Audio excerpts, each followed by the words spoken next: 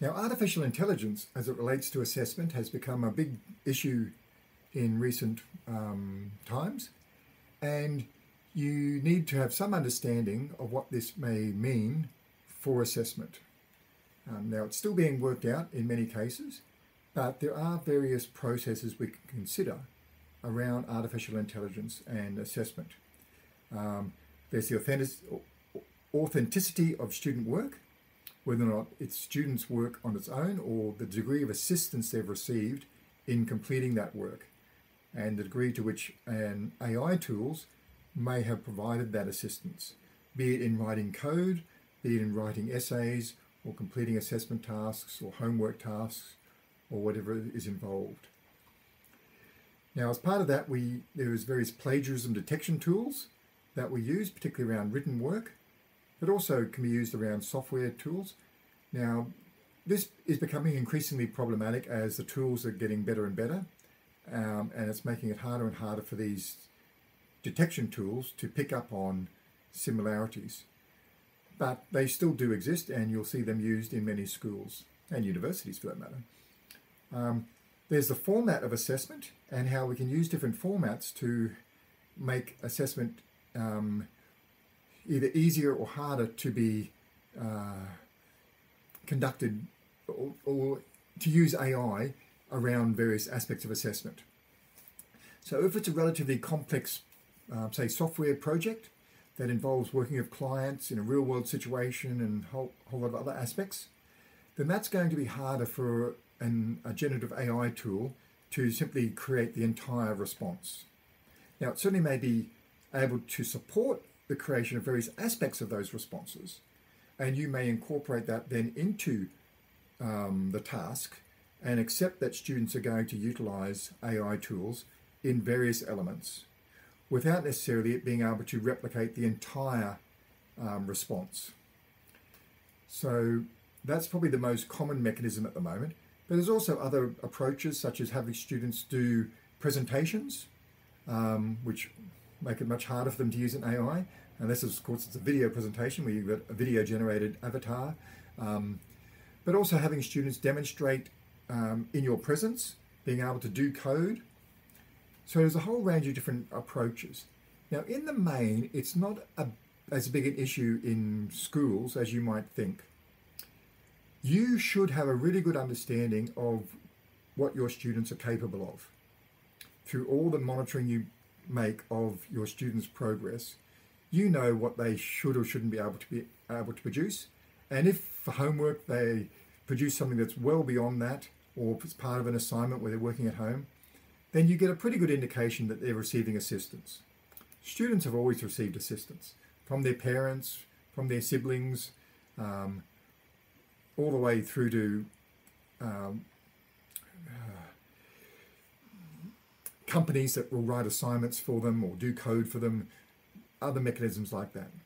So the more you know your student, then the more you can pick up on things. Now, if you then pick up on them, you have to do something about that.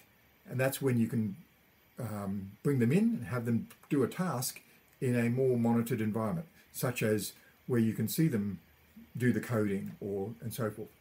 The other thing is just simply to ask them to explain aspects of their work, um, explain what they meant in, with this paragraph or this piece of code.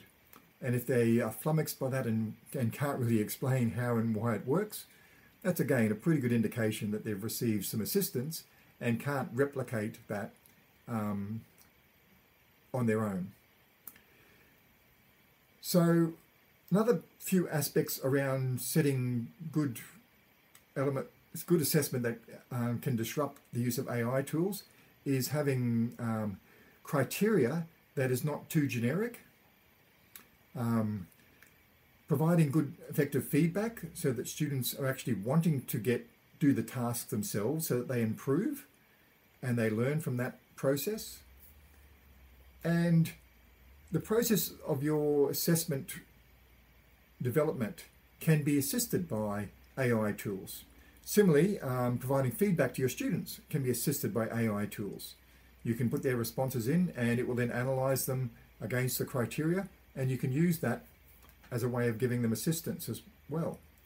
Now, your students can do that themselves. they can put their own work into the AI and have it look at that and provide them with feedback on how to improve.